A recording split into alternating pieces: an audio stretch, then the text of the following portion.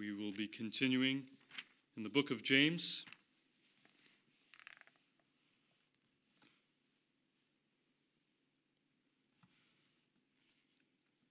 As we continue in this section, what it means to be a doer of the word. That's James chapter 1. I will be reading verses 26 through 27.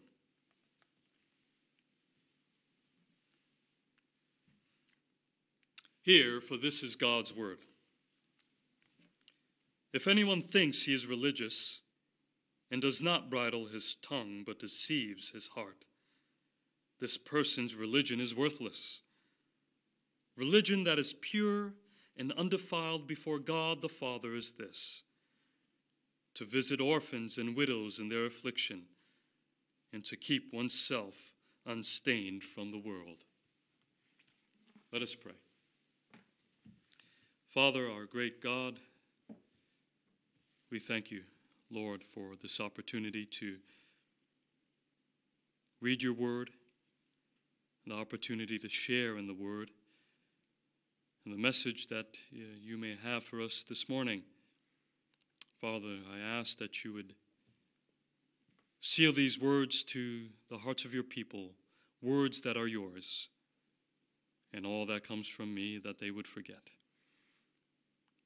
Father, we ask that you would bless all those who are hearing and that you would make this word effectual to salvation for those who do not know you and for those who do know you, that they would grow in the likeness of your Son. We pray all this in Christ's name. Amen. There is an old proverb of from Cape Verde Islands in regard to those who slander and tell tales, and it goes something like this. This is a translation, so some of the humor of it may fall short.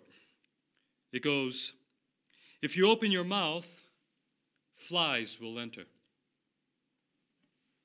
This was a, a proverbial warning uh, that if you open your mouth too much to speak, and using your mouth to slander, you will be liable to swallowing your own words, and your words are an equivalent to insects.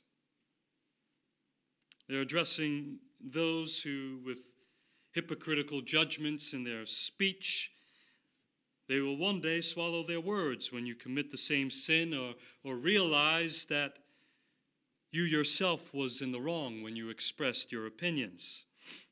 Now, there's some credence to this old saying because some of the problems that James is addressing in this letter speak to this very issue of an uncontrolled tongue. Here in our letter, we are beginning, in this letter, we are beginning to see the particular sins as they have been laid out in the first chapter as doubting God's goodness and faithfulness in providing for us. And since doubting God's goodness would lead to the pursuit of worldliness or worldly pursuits, and from the failure of worldly pursuits, and we, we, see this failure as, as James would address it in chapter 2 uh, as um, the expression of this worldly pursuit is that they favor the rich over the poor. And, and when the failure of these worldly pursuits come to them, uh, there is anger from the failure, from the pride of it. And from anger, here in our text this morning, comes slander. He defines in summary form two polar opposites here, two polar opposite versions of religion there is worthless religion in verse 26, and pure religion or true religion in verse 27. Let us first look at worthless religion in verse 26. In verse 26, James is going to answer what is the manifestation of the word? What is the perfect law, the law of liberty as revealed in Christ as it plays out in the lives of believers. What is true faith or true religion in its outward expression? He calls them to be doers of the word, not just hearers, deceiving themselves, and repeats this deception in describing the one who does not bridle the tongue. He is reiterating his earlier command to be slow to speak in verse 19, addressing the evils of the tongue, which he will later expound in chapter 3. He begins by saying, If anyone thinks he is religious, or God fearing, a worshiper of God, or worshiping God, and does not bridle his tongue, but, or rather, deceives his heart. Again, the heart is the seat of the mind. So, in this sense, he would be deceiving himself, in other words. Again, he is defining what it means to be a doer of the word and not a hearer only. And he repeats that they would be deceiving themselves if they weren't a doer of the word, or as he defines it, if they do not bridle the tongue. The word used for bridle can also be translated as to guide. A bridle is known as the headgear of a, of a horse which includes a bit in the mouth and the reins to steer the horse when riding it. The bridle is used to guide or control the horse in the direction that it should go. So he says, likewise, if you think you are religious and do not control or guide your tongue, you have been deceived. In fact, your religion or your faith is worthless, useless, of no repute. It produces nothing. But remember from a pre- previous verse where I said, He does not say we are never to be angry. Here it doesn't mean we are never to use our tongues. He is not saying we are never to preach, never to teach, or share the gospel. This does not mean that we never proclaim Christ or you who are hearing the gospel, uh, you're not liable to hear what I'm saying because the preacher is not bridling his tongue. First, that this is not the understanding of this passage. You've heard the saying, preach the gospel always and sometimes use words. But that is not Christian.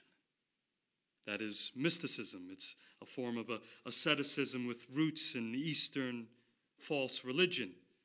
This had led many in the centuries before to a vow of silence amongst the monks so he is not saying we are never to use our tongue, but we are to use the wisdom which God gave us when we do use our tongue. We are to guide it or control it, being self controlled in our speech.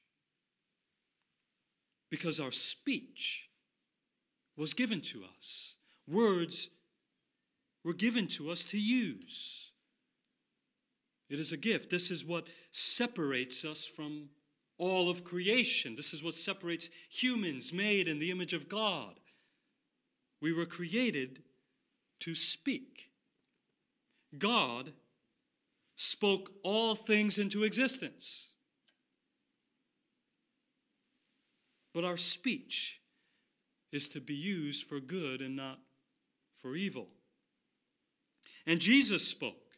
Jesus spoke and he proclaimed the gospel loudly, clearly. He proclaimed it in the streets freely. And Jesus used his words for good. You see, when he said, To sinners I forgive you, and he said to the self righteous and those who would reject him. He warned them of hell. So here, James is addressing the content of our speech. He's not speaking to the amount either, or how much you use your tongue. We, we can say very little and yet be not self controlled in our speech as far as content. We, we, knows, we know of the short two word phrases known as curse words, and they display lack of self control. And then there are those who have lots to say, and oftentimes we should take heed to what they are saying. So, bridling the tongue has more to do with content rather than with length. And we are to control that content using godly wisdom and fear.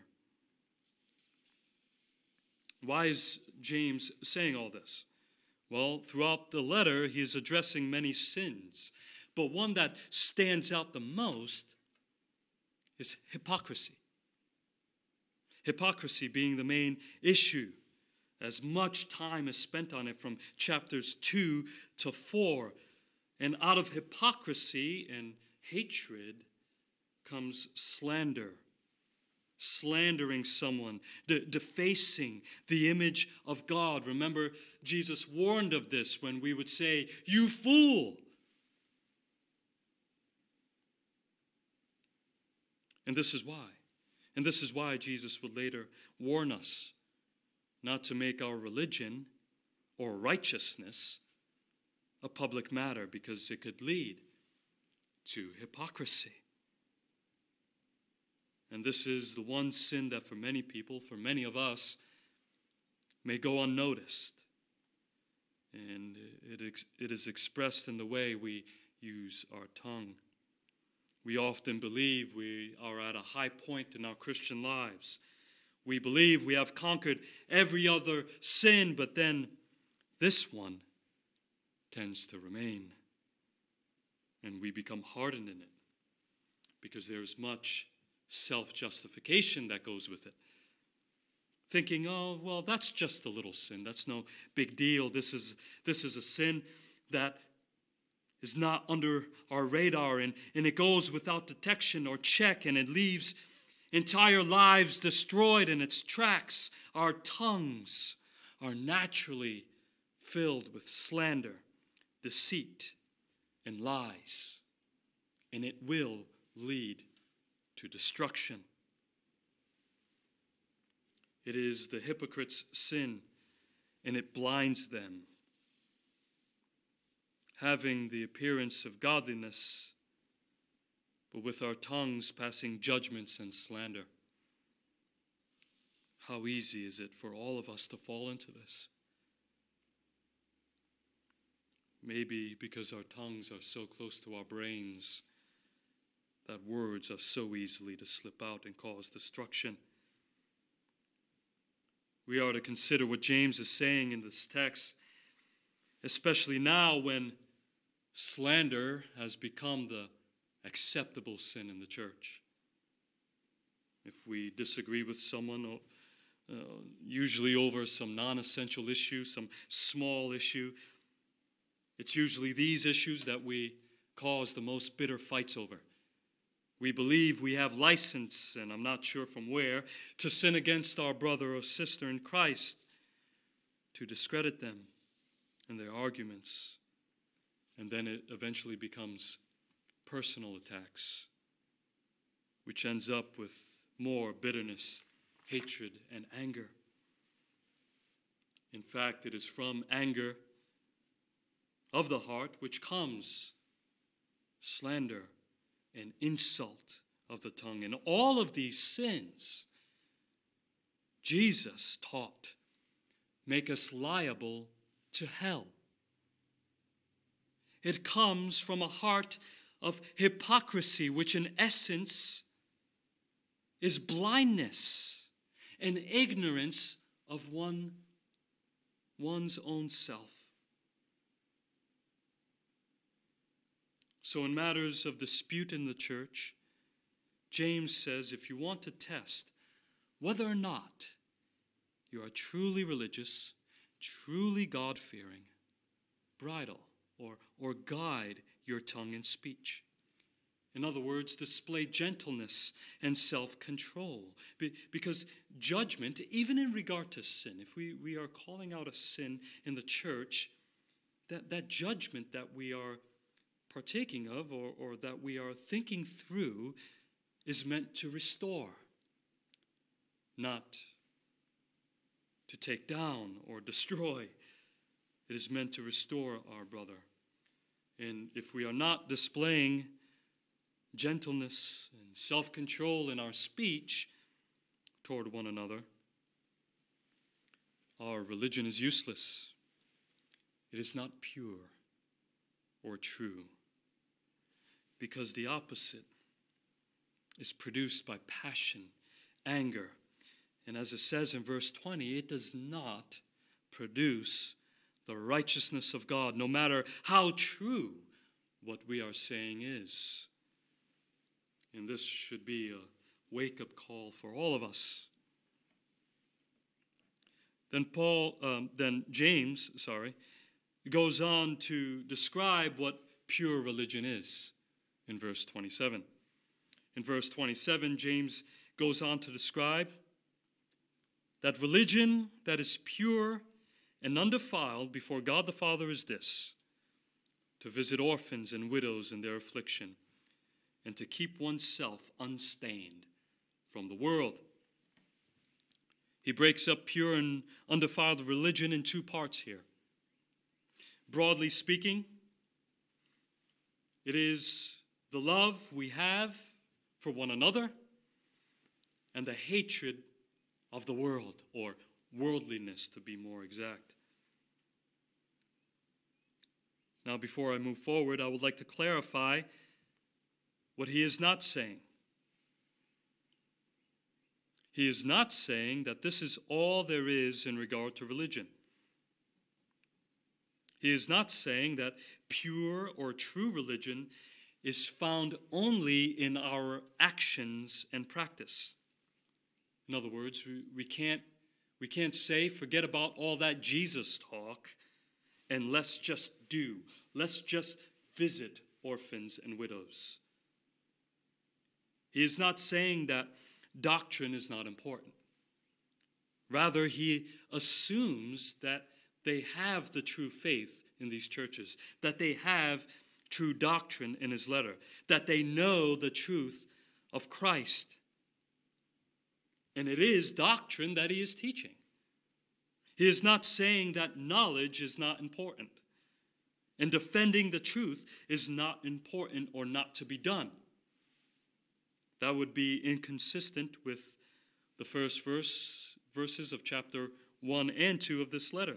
Uh, because, because he begins with sound doctrine. He says, the faith of our Lord Jesus Christ that, that has doctrine embedded into it. It is the foundation of all of our practice, and it would be inconsistent with the rest of Scripture where it places emphasis on doctrine. If our foundation is not Jesus Christ, it doesn't matter what you do or what charity you're a part of. If you reject Jesus Christ, your good works toward your neighbor will not stand on the day of judgment. It will be rejected. So, what he is saying is that religion that is only all talk, all ritual, all doctrine with no outward manifestations of mercy and love toward others is false religion. True and pure religion is sound in doctrine, sound in religious observance or worship, and it is sound in practice and life. It is whole, it is complete religion, which makes a whole or complete person in Christ. You can't have one area sound and not the other, in other words. So, first, let us look. It is to love others. He is here speaking directly about the second table of the law, the last six of the Ten Commandments, as there is an active application to the law. We, we see this in uh, our confession of faith that we uh, confessed this morning and, and on the Sermon on the Mount. Jesus doesn't only give the negative side of the law, but he also gives positive action. Uh, in our confession of faith does as well. So it's not just to fulfill the law, it's not just I don't lie, I don't steal, I don't bother my neighbors. It's not just saying I don't kill, but it's also asking the question what are you doing to preserve life? What are you doing to uphold the reputation of another person's name when it is being slandered? The, the best way we can look at this is see what Jesus did in his active obedience or his active life in regard to his neighbors. So the question is is what are you doing actively in regard to your neighbors, especially your brothers and sisters in Christ. He says, pure and undefiled religion before God the Father, m- meaning what is truly pleasing to God is this to visit orphans and widows in their affliction. Now, we, we find a hard application for us here today because we can't actually visit anyone, right? Uh, most of us are isolated in our homes. So if there was another translation, we would probably say maybe make a phone call. But it's not just stopping by to say hello here or, or calling just to say hello. It, it could be that, outwardly speaking, but it is with a heart of care and love for the other person's well being. Uh, you are you're calling to see if they are okay, whether physical or, or, or spiritual affliction. Specifically, here, this affliction is stemming from losing the head of one's household or the provider of the household, which brings in itself a whole host of problems, both physically and spiritually. The orphan lost a father, and the widow lost her husband. You can only imagine the pain and the struggle uh, accompanying this sort of loss. And we think of today and all of uh, that we're losing in the midst of a pandemic and those who are sick and those who are hurting, those who have died, and the effects that it has on whole families.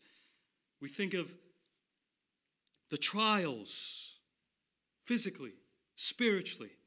We think of the afflictions physically spiritually, and we think of even the temptations to sin. Now more than ever, temptation to sin is higher in isolation. The temptation to greed, the temptation to cut others off, even the temptation to use our tongues in the wrong manner. And since it happened in the midst of tax season, maybe the temptation to cheat on our taxes so we can have a little more because we don't know what the future is going to hold. But if we notice in this definition of what pure religion is, it sounds familiar, doesn't it? Isn't this how God is described all throughout the Old Testament. He is described in this way in our call to worship this morning the father of the fatherless and the protector of widows. It is the nature and character of God. And isn't this what Christ puts on display as our faithful Savior in this world, going about doing good, who has adopted the fatherless into the family of God, making us children of God. He, he says in John 14, 18, I will not leave you as orphans. If you are outside of Christ, you do not have God as your father. So, in other words, you, you, you are technically an orphan, right? But it says, if children, then we are heirs of all the promises of God, heirs of Christ. We were the ungodly who were without a father, a bride without a bridegroom, a wife without a husband. Christ turned the tables and showed us God. He showed us his gracious, compassionate, and loving character. And if we look back to verse 18, aren't we called to be a kind of first fruits of his creation? In other words, we are to display God's character if we are true children of God in mercy and sympathy toward others in affliction. And throughout the Old Testament, God calls his children to do justice to the fatherless and the widows, meaning to help them in their affliction. Oftentimes, we, we think of justice or social justice in modern political categories, or, or we automatically associate what it means to do justice with a political movement. If you choose to do so, that's fine. But, but it, that's not the only way that we do justice or live just lives. Justice in Scripture means doing anything possible and you're considering your circumstances, considering where you are, anything that helps to alleviate the burden of the affliction. It could be as simple as visiting or calling with a word of comfort, or even giving to the diaconal offering, or dropping off some goods to someone's front doorstep who is in need. And we must recognize this is not the only way to please God in mercy. For our church, our own church, may not be filled with orphans and widows, but there is still affliction and pain and hardships that we contend to. Jesus addresses the blessed ones in Matthew 25, 35 to 36, when he says, I was naked and you clothed me. I was sick and you visited me. I was in prison and you came to me. And he's giving a variety of things that the faithful were engaged in. They, maybe they didn't do all of this on a list and they didn't hold a list, but it describes the one who is a child of God, naturally flowing out of gratitude to a God who has shown us much mercy. I'm thankful for the officers that we have as deacons here, but we are all called to be deacons, uh, meaning to be servants of one another. Secondly, he continues to describe this pure and undefiled religion as to keep oneself or guard oneself. So, so there is another active role here. There's another active role that we are to be confronting and actively engaged in a battle to keep oneself unstained from the world. In other words, we are to be clean from the ways of the world around us, to be heavenly minded and not worldly minded, to grow spiritually. This will uh, we will address later tonight in the evening service. But here he is calling them to heavenly mindedness rather than being stained by the world. Now, the problem with that is, is that worldliness comes with the territory. It is so ingrained into who we are as humans and sinners. We are all born worldly, overwhelmed, and constantly distracted by the world. But we must clarify what type of worldliness he is speaking of here. because I believe the, the mistake would be is going off into extremes. There, there's always two ditches on the sides, side of the road, right? When we go off into extremes and we become irresponsible in our certain areas or certain spheres of work and influence, whether in the home or in our vocation. So, what does it mean to be unstained from the world? I, find this to be helpful for your encouragement because I want to describe what it doesn't mean first. First, it doesn't mean abstinence from certain foods or abstaining from marriage or leaving our worldly responsibilities to our wives and our children. God gave us all things freely to enjoy with self control in regards to food and marriage.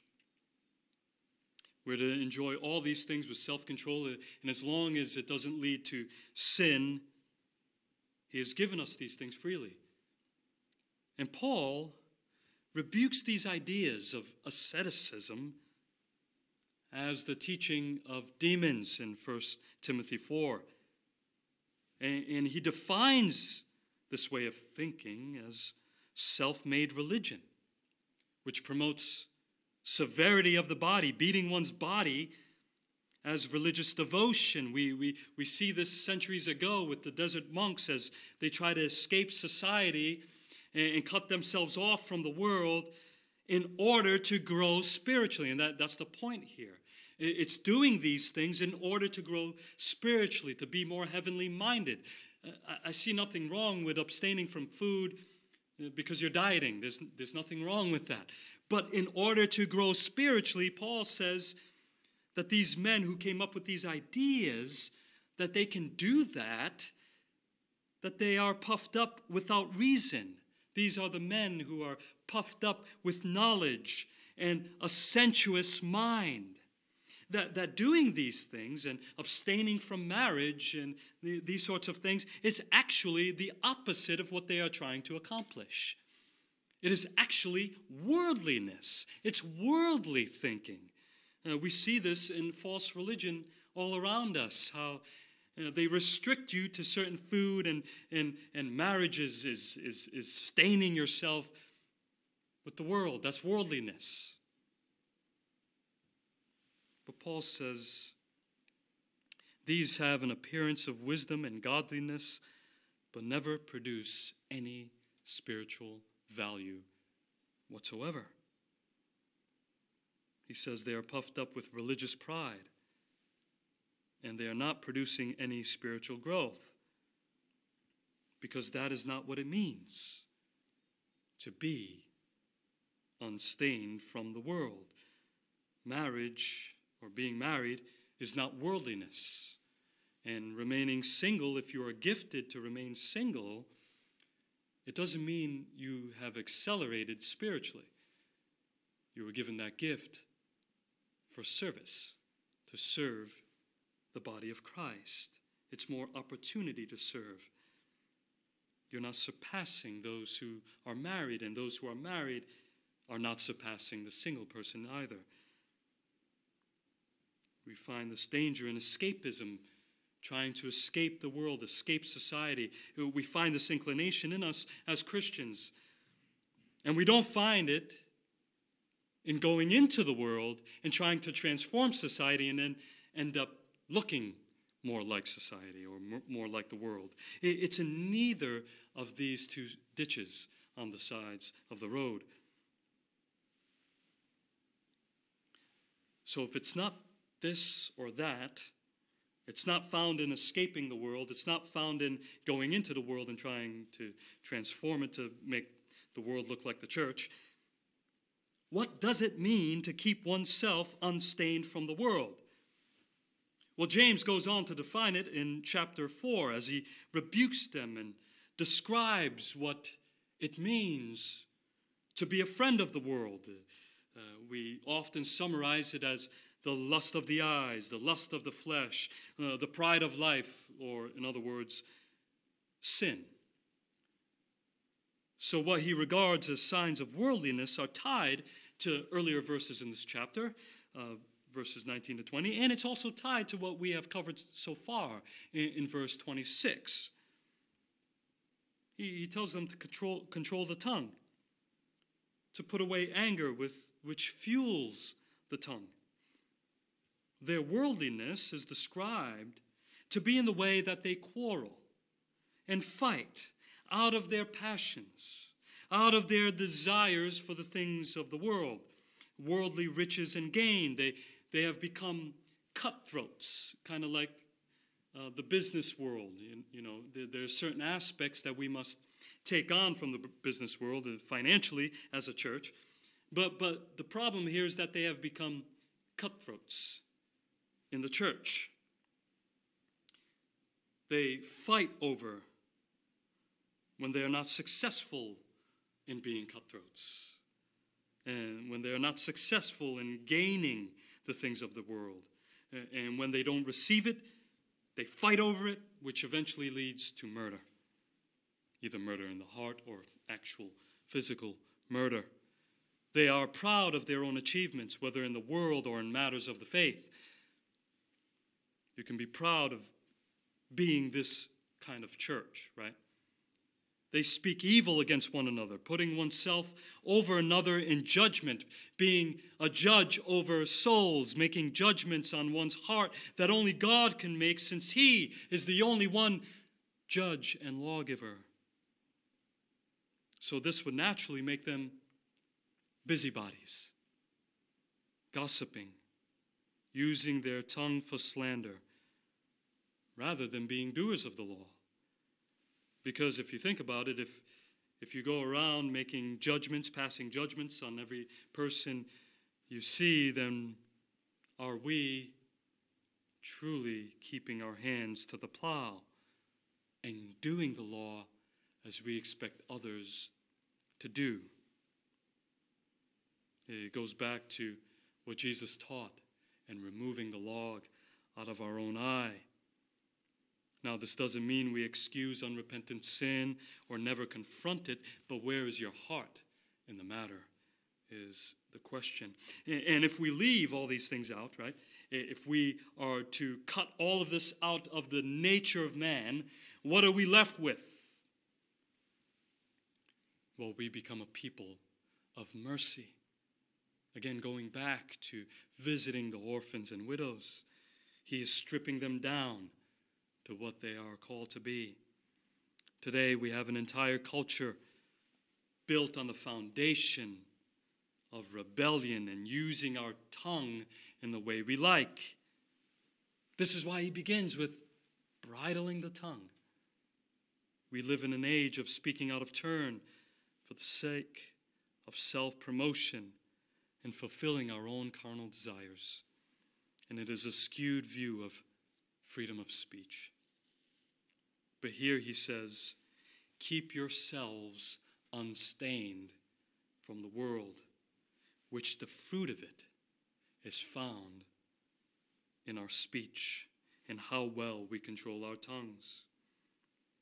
And we are to grow weary of this fading world that is so prideful in its boasts, the pride of life. This world that offers comforts that can never truly comfort the soul, but are mere distractions from eternity.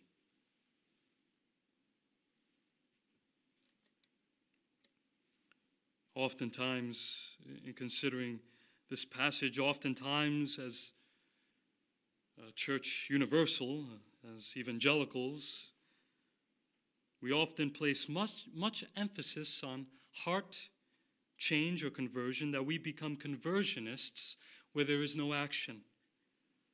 There, there is no moving from conversion of the heart to practice.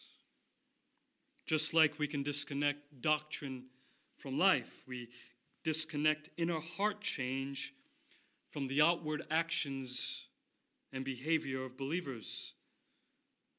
But in Ezekiel 36 27, with the promise of the Spirit comes action. And it says this I will put my Spirit within you and cause you to walk in my statutes and be careful to obey my rules. And God says He is the first cause of this. We can't look over that. He is the one who moves us or causes us to walk in His ways, to will and to work for His good pleasure. And here James defines what that good pleasure is. I pray that your doctrine is sound. I pray that you're seeking to know more and more about the Lord and His Word in dialogue with the saints who have gone before us. But is there a true desire to walk in true religion, holiness toward God, and righteousness toward our neighbor? We must consider the coming of Christ. The coming of Christ in the womb of the Virgin Mary is often called the visitation. Why? Because God came to visit lowly and sinful man, and he came, took on flesh as a man. And the emphasis in his ministry, no doubt, was preaching. He went around preaching the word with both warnings and comfort. But he also visited those in affliction and he healed them.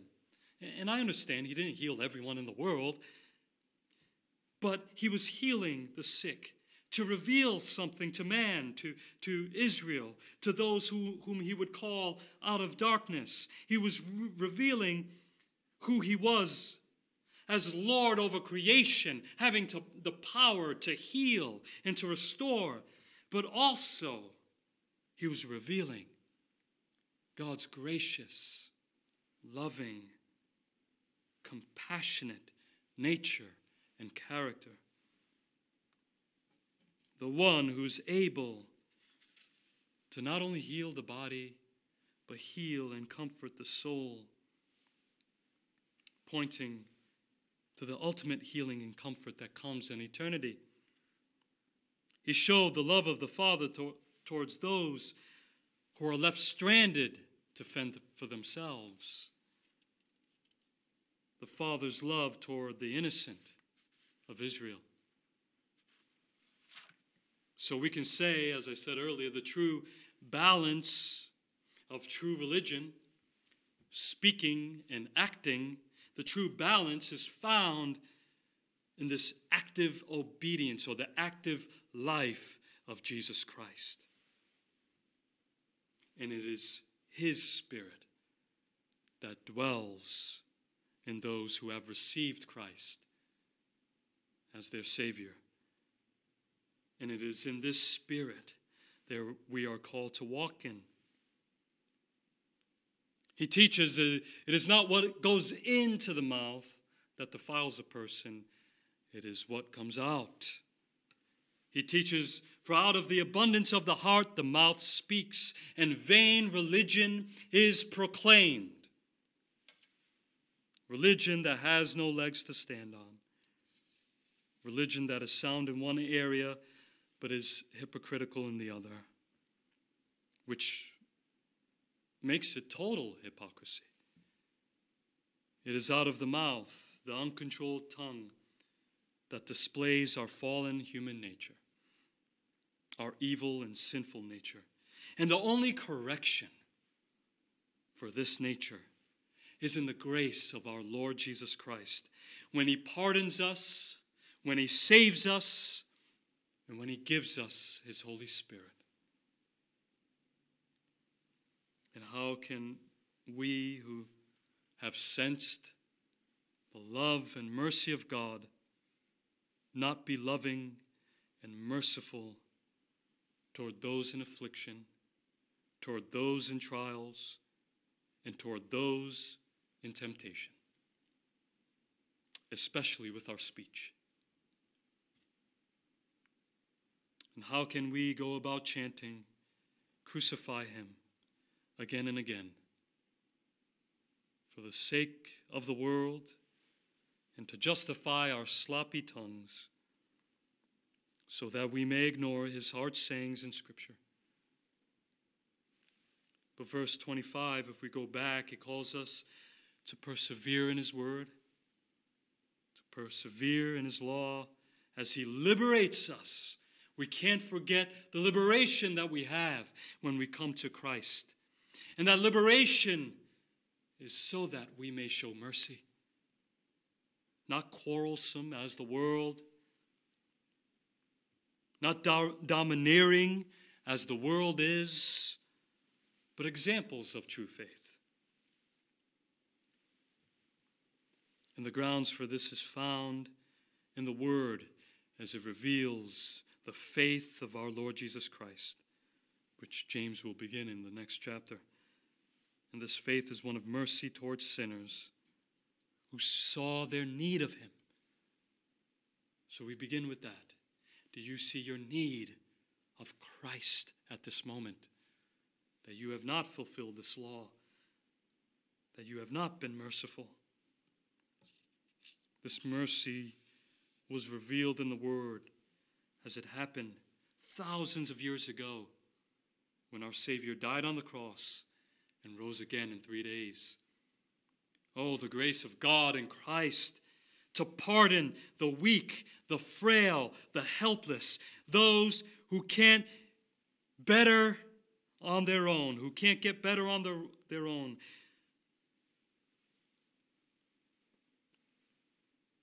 And in response to this mercy, can't we do the same? Can't we crucify ourselves and our lusts and tend to the needy? Tend to those who need the grace of Christ the most, not just the two categories of orphan and widows, though those are, those are examples, but to all who need the grace of Christ in both physical and spiritual matters. Can't we crucify ourselves and remain unstained from the world? Because, first, we are unstained because we were washed clean by the blood of Christ. Let us pray. Father in heaven, we thank you for your word that you have revealed to us this morning. Thank you that you use weak and frail sinners as ourselves to both proclaim the word and to seek to live the word out in the world to those who need it most and those who call upon your name, those who have come with humble, weak, and frail hearts, those who have recognized their neediness as orphans without a father, without a God. We have come to share the love of Christ, though we are still constantly in need of your grace. Father, we ask that you would go forth with us in the midst of a trying hour, in the midst of temptation, affliction due to the pandemic around us, as we are isolated from one another. We pray that you would use this time for pruning, for showing our sins clearly for what they are, and for helping us to grow by the grace of your Spirit in us, to grow in holiness and righteousness toward you and toward one another. Seal all these things to our hearts. In Christ's name, amen.